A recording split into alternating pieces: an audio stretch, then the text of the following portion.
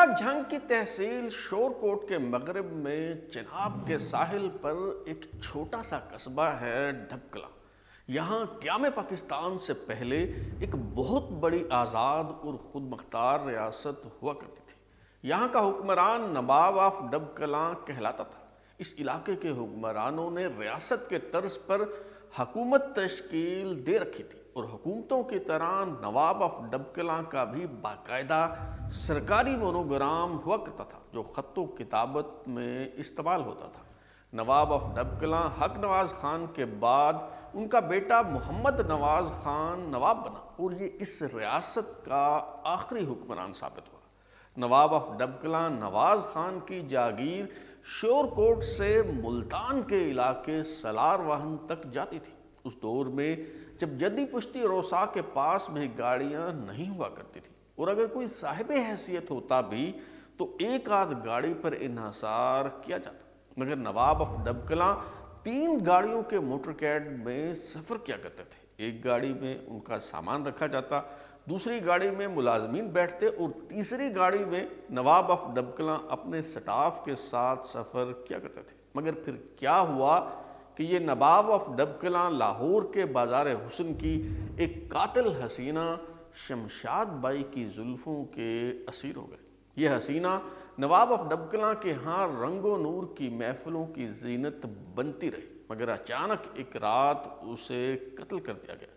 उस हसीना के कत्ल का मुकदमा नवाब ऑफ़ डबकला के खिलाफ दर्ज हुआ। नवाब ऑफ़ डबकला के ख़ानदान का मौकफ ये है कि उन्हें इस केस में फंसाया गया। मुकदमा लड़ने के लिए कायद अजम की खिदमत हासिल की गई, मगर वो अपने मोक्ल को ना बचा सके। नवाब मोहम्मद नवाज़ खान को दास्तान गोई की तारीख का एक अहम किरदार समझा जाता है। लंदन, पेरिस, काहिरा न्यूयॉर्क समेत दुनिया भर में इस अलमनाक कहानी पर मजमून लिखे गए। मगर हकीकी दास्तान क्या है? आज हम यही गुत्थी सुलझाने की कोशिश करेंगे। पहली किसके साथ मैं हूँ बिलाल गोरी और आप देख रहे हैं नया सिलसिला दास्तान।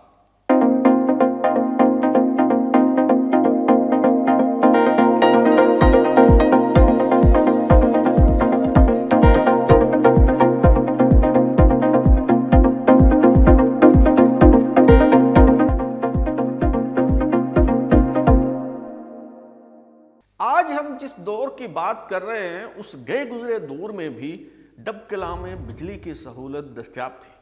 नवाब ऑफ़ डबकला का महल, जिसे इशरत कदा कहना ज़्यादा मुनासिब होगा, उसमें शीशे के मुनकश तालाब थे, जहाँ हसीनाएँ जलपरियों की सूरत अटकेलियाँ करती फिरती थी। डबकला के अलावा झंग सदर में भी डब हाउस के नाम से एक राहत कदा मौजूद था। रईस ज़ादे नवाब मोहम्मद नवाज़ खान ने लाहौर के एचिसन कॉलेज से तालीम हासिल की तो अशराफिया के बच्चों में उसकी अमारत और दौलत के चर्चे फैल गए। मर्दाना वजाहत और बेपनाह दौलत के बायस बड़े बड़े रोसा और उमरा की ये ख्वाहिश थी कि इस नौजवान को अपना दामाद बनाया जाए। लेकिन कुराय फाल पंजाब के एक बड़े जागीरदार और मरूफ सियासी शख्सियत खान बहादुर मियाँ सर फजल हुसैन के नाम निकला, जिन्होंने अपनी मंझली बेटी अस्करी बेगम नवाब ऑफ़ डबकला मोहम्मद नवाज़ खान के साथ ब्याह दी। 1930 में होने वाली इस शादी पर उस दौर में 10 लाख रुपए की खतीर रकम खर्च हुई।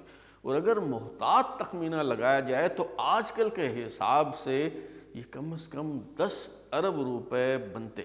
नवाब मोहम्मद नवाज़ खान ने अपनी बीवी को मुँह दिखाई में जो हार पेश किया, उसकी मालियत पचास हज़ार रुपये थी।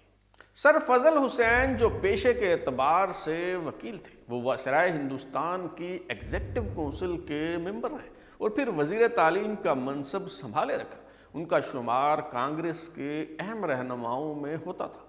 लेकिन जब महात्मा गांधी ने सत्याग्रह के नाम से अदम ताउन की तहरीक चलाने का ऐलान किया तो मियाँ सर फजल हुसैन कांग्रेस से अलग हो गए और कई हिंदू रहनुमाओं ने भी उनका साथ देते हुए ये पार्टी छोड़ दी। सर फजल हुसैन ने कांग्रेस से अलग होने के बाद यूनियनिस्ट पार्टी बनाई, जो बेहद मकबूल हुई। अगरचे सर फजल हुसैन अपने लगाए इस पौधे को बरगोबार लाता हुआ ना देख सके और 1936 में फोत हो गए।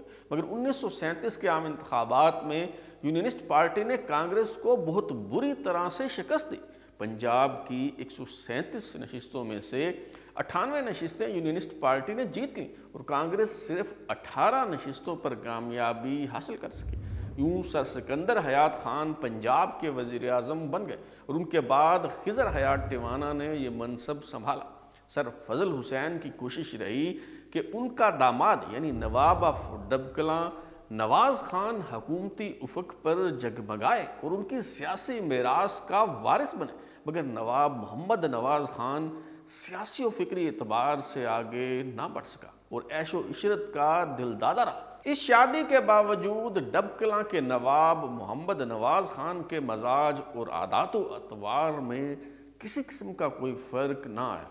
एक और दिलचस्प पहलू यह है कि सर फजल हुसैन की बेटी ने शादी के मौका पर एक शर्त रखी थी और वो ये कि वो डबकला के बजाय लाहौर में रहना पसंद करेगी। चुनाचे नवाब मोहम्मद नवाज़ खान ने लाहौर में सर फजल हुसैन की कोठी से मुल्क अराजी खरीद कर वहाँ एक शानदार कोठी तामीर करवा दी। बादशाह मालूम हुआ कि सर फजल हुसैन की बेटी का वली अहद रियासत नाभा से मुआशका चल रहा था और चूँकि उनका घर पास ही था, इसलिए उसने लाहौर में रहने की शर्त रखी। दोनों के दरमियान दो साल में ही नाचाकी इस कदर हो गई कि वो एक दूसरे का मुँह देखने के रवादार भी ना रहे। आखिरकार 1936 में इन दोनों के दरमियान अलहदगी हो गई। नवाब ऑफ़ डबकला, नवाज़ खान जिनका शुमार अपने दौर के इंतहाई नफीस और शाइस्ता मजाज जागीरदारों में होता था, वो हल्का यारा में बेहद मकबूल थे। उनके दोस्तों की सफ में हिंदू, सिख और मुसलमान भी शामिल थे। डबकला के नवाब, नवाज़ खान की सखावत और फ्याजी भी अपनी मिसाल आप थे, क्योंकि वो दोस्तों को ना सिर्फ़ खाना खिलाया करते बल्कि उनके एजाज में रक्स सरूद की महफिलें भी बर्पा किया करते प्राण नेवल अपनी किताब लाहौर ए सेंटिमेंटल जर्नी में लिखते हैं कि नवाब ऑफ़ डबकला नवाज़ खान लाहौर के महँगे तरीन होटल फ्लैटीज़ में क्या करते जहाँ शहाना तकारीब मुनद होती और मेहमानों की तोज़ शराब से की जाती। वो अपने दोस्तों को तफरी मुहैया करने के लिए गाने वाली लड़कियों पर बेपनाह दौलत खर्च किया करते हैं। जब वो लाहौर के किसी होटल में दाखिल होते तो वेटर्स और बार में काम करने वाले मुलाजमीन की दौड़े लग जाती। इंतहा दर्जे का फ्याज होने के नाते वो आसपास मौजूद हर शख्स को इन पार्टीज़ के लिए मधु कर लिया करते थे। उस दौर के मुसनफिन और मरखीन के मुताबिक नवाज़ खान बदस्तूर शराब शबाब के रसिया रहे और शादी हो जाने के बावजूद उनके अंदाज अतवार में किसी किस्म की तब्दीली ना आई। महफलों का सिलसिला पहले की तरह जारी रहा। वो मुग़ल शहजादों की सी ज़िंदगी बसर किया करते थे। नवाब साहब के लिए पीने का पानी फ्रांस से मंगवाया जाता। कपड़े बाहर से सिलकर आते। पंजाब में सबसे पहले बिजली और जनरेटर उनके घर में आया। उनके घर का नक्शा एक फ्रांसीसी आर्किटेक्ट ने बनाया। उस दौर में नवाब साहब के घर स्विमिंग पूल हुआ करता था। एक बार नवाब साहब जंग सदर डब हाउस में मौजूद थे कि कुछ मुसलमान जामा मस्जिद की तामीर के लिए उनसे चंदा लेने आए। नवाब साहब ने कहा कि शराब की दो पेटियाँ ले जाओ, गारे में डाल देना। सखावत और फ्याजी का यह आलम था कि जंग में जहाँ आजकल शकरगंज शुगर मिल्स कायम है, नवाब साहब ने ये कोठी खड़े खड़े एक हिंदू डॉक्टर को तोहफे में दे दी थी। बिलाल जुबैरी की किताब झंग की लोक कहानियाँ में नवाब ऑफ़ डबकला मोहम्मद नवाज़ खान से मुतलक एक दिलचस्प वाक़ बयान किया गया। एक दफ़ा किसी आला नस्ल का कुत्ता लंदन के किसी लार्ड से तीस हज़ार रुपये के एवज खरीदा गया। ये कुत्ता हवाई जहाज़ के ज़रिए एक अंग्रेज़ झंग लेकर आया। सुबह बेदार होने पर नवाब साहब को कुत्ते के बारे में बताया गया तो अंग्रेज़ से एलेक्स लैक के बाद उन्होंने कुत्ते का नाम पूछा। नवाब ऑफ़ डबकला ने कुत्ते को उसी नाम से तीन मरतबा पुकारा, मगर कुत्ते ने उनकी तरफ़ तवज्जो ना की। नवाब मोहम्मद नवाज़ खान ने उसी वक्त पिस्तौल निकाल कर कुत्ते को गोली मार दी और अंग्रेज़ को तीस हज़ार रुपये नकद और किराया देकर रवाना कर दिया। अंग्रेज़ सरकार ने जंग के पेश नज़र हिंदुस्तान से रंगरूट भर्ती करने की मुहिम शुरू कर रखी थी। अंग्रेज़ गवर्नर ने सर सिकंदर हयात के मशवरे से नवाब ऑफ़ डबकला, नवाब मोहम्मद नवाज़ खान को फौज के लिए रिक्रूटमेंट वाले शोबे का एजाज़ इंचार्ज बना दिया। नवाब साहब की दिल फेंक तबीयत के बायस बिलखसूस ये अहतमाम किया गया कि उनके दफ्तर में काम करने वाली खातन में से किसी की उम्र 40 बरस से कम ना हो।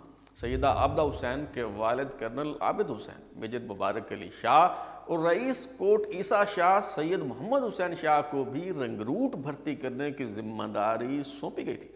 मगर नवाब मोहम्मद नवाज़ खान छः माह में ही उकता गए और जंग वापस आकर अपने शौक और मजाज के एन मुताबिक शराब व शबाब में खो गए। ये वह दौर था जब फ़िल्म इंडस्ट्री का जादू सर चढ़कर बोल रहा था। लाहौर के माल रोड पर दोनों तरफ़ स्टूडियोज खुम्बियों की तरह उग रहे थे। प्रोड्यूसर नए टैलेंट की तलाश में रहते और फ़िल्म इंडस्ट्री में कदम रखने के लिए बेताब लाहौर के बाज़ार हुसन की रकासाएँ उनके इर्द गिर्द मंडलाती रहती। बाज खुशकिस्मत हसीनाओं को चांस मिल जाता तो वो हीरोइन और आर्टिस्ट का दर्जा हासिल कर लेती। वरना बाकी दोशीजाएँ तबका अशराफिया के मनोरंजन के लिए सजाई गई महफिलों में रक्स करके दौलत कमाने पर ही इक्तफा किया करती। लाहौर का फ्लैटिस होटल उन दिनों ऐसी तकरीबात का गढ़ समझा जाता था, जहाँ पंजाब और अमृतसर के बड़े जागीरदारों और नवाबों की शान बढ़ाने के लिए उनके एजाज़ में रंगो नूर की महफिलें बाकायदगी से सजाई जाती थी। उन दिनों रूप के शोरी की फ़िल्म मंगती रिलीज़ हुई थी। इस फ़िल्म के गीतों पर लाहौर हीरा मंडी की तवायफ शमशाद बाई के रक्स ने तमाशबीनों को मदहोश कर रखा था। नवाब ऑफ़ डबकला, नवाब मोहम्मद नवाज़ खान ने लाहौर फ्लैटिस होटल के अंग्रेज़ जनरल मैनेजर से शमशाद बाई को हाजिर करने की फरमाइश की। होटल के जीएम ने एक शर्त पर आमादगी ज़ाहिर की और वो शर्त ये थी कि ये महफिल रक्स तक महदूद रहेगी और नवाब साहब शमशाद बाई के साथ दस्त दराजी की कोशिश नहीं करेंगे। बात तय हो गई। 6 नवंबर 1941 की सर्द शाम, शमशाद बाई अपने दलाल भाई तालिब हुसैन और साजिंदों के साथ फ्लैटिस होटल पहुँची। नवाब साहब के लिए मख्त खसूसी स्वीट में रंगो नूर और साजो आवाज़ का सिलसिला शुरू हो गया। कातिल हसीना के थरकते बदन का सहर आलात गना का जादू और सागर व मैना का सरूर नवाब साहब के आशकाना मिजाज को महमीज दे चुका था। शमशाद बाई ख़ानदानी तवायफ थी। उसकी माँ और दादी ने यहीं शाही महल्ले में ज़िंदगी बसर की। उसकी मुँह बोली खाला खंडो, जंग की मशहूर तवायफ थी। उसे मालूम था कि रईस ज़ादों को कैसे तड़पाया जाता है। पैसों की चमक देख कर वह हम बिस्तरी पर भी आमादा हो गई। रात के आखिरी पहर साज खामोश हो गए, बत्तियाँ गुल कर दी गई और किवाड़ मुकफ़ल कर दिए गए। सुबह हुई तो शमशाद भाई के हाथों में सत्रह सौ रुपए के करारे नोट थे। ये कितनी बड़ी रकम थी, इसका अंदाज़ा यूँ लगाएँ कि उन्नीस में 10 ग्राम सोने की कीमत सैंतीस रुपए थी और आज एक लाख बानवे हज़ार रुपए है। यानी नवाब साहब ने उस तवायफ को महज शब बसरी के लिए जो रकम दी, वो मौजूदा शरह तबादला के हिसाब से तकरीबन अट्ठासी लाख रुपए बनती है। नवाब ऑफ़ डबकला इस खबरू दोशीज़ा पर दिलो जान से फरिफ्ता हो गया उसे मुल्तान आने की दावत दी। सात नवंबर की शाम शमशाद बाई अपने भाई तालिब हुसैन के साथ मुल्तान बहादुरगढ़ में नवाब साहब की आबाई हवेली पहुँची। यहाँ चूँकि नवाब साहब की वालदा नेमत बीबी, यानी नवाब हक नवाज़ खान की अहलिया रिहाइश पजीर थी। इसलिए नवाब साहब ने कहा कि यहाँ माहौल साजगार नहीं झंग के डब हाउस चलते हैं। आठ नवंबर को ये काफिला मुल्तान से कूच करके दोपहर में झंग सदर पहुँच गया। शमशाद भाई नवाब साहब का इशरत कदा देख कर हैरान रह गई। तालिब हुसैन को ड्राइंग रूम के करीब अलग कमरे में ठहरा दिया गया, जबकि शमशाद भाई नवाब साहब की ख्वाबगाह में चली गई। रात दस बजे खाना पेश करने के बाद मुलाजमीन भी अपने कमरों में जाकर सो गए। निसफ शब अचानक गोली चलने की आवाज़ से गहरा सकूत टूटा तो नवाब साहब के बातमाद ज़ाती मुलाजिम गुलाम हुसैन उर्फ़ गामन और मोहम्मद हुसैन हड़बड़ा कर उठ बैठे। खाबगाह का दरवाज़ा तो अंदर से बंद था, मगर दोनों मुलाजमीन खुफिया रास्ते से अंदर दाखिल हुए।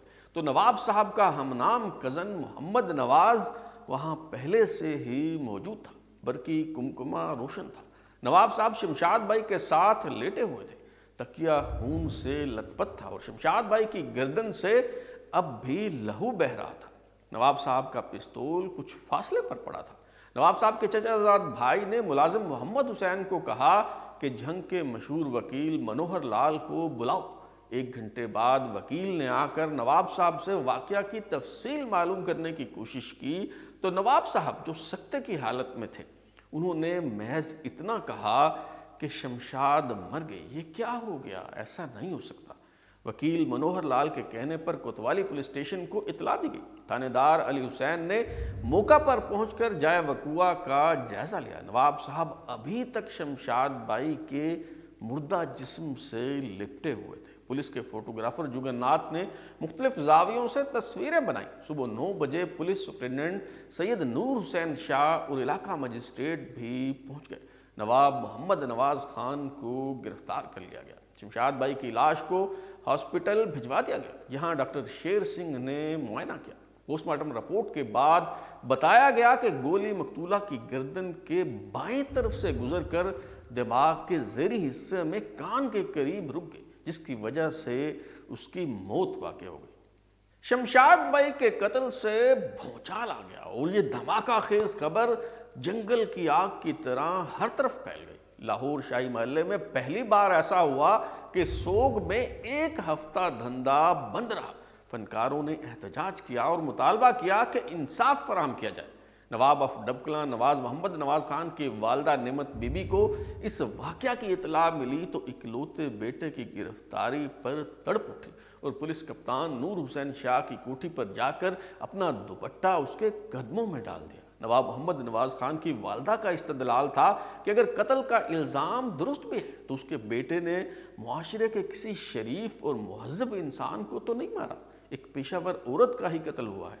उसे छोड़ दो। तराजू में तोल कर उसके बराबर सोना दे दूँगी। पुलिस अफसर नूर हुसैन शाह, जो ईमानदार अफसर थे, उन्होंने कहा कि गुनागार ये बेगुनाह का फैसला करना अदालत का काम है। वो मुलजिम को रिहा नहीं कर सकते। डबकला के नवाब मोहम्मद नवाज़ खान की दास्तान बयान करने का ये सिलसिला जारी है। नवाब साहब को एक तवाइफ से इश्क की कितनी भारी कीमत चुकाना पड़ी ये मालूम हो सकेगा आइंदा के साथ में। अब तक के लिए इतना ही। बिलाल को इजाज़त दीजिए, फिर मुलाकात होगी। अगर आप अपनी राय देना चाहते हैं या फिर कोई तजवीज़ तो हमारा WhatsApp number zero double three two eight four one zero five three seven. दस्तियाब अपना फीडबैक दें लाइक करें। सब्सक्राइब करने के बाद घंटी दबाएँ, ताकि आपको नई वीडियोज़ की नोटिफिकेशन मिलते रहें। बहुत शुक्रिया।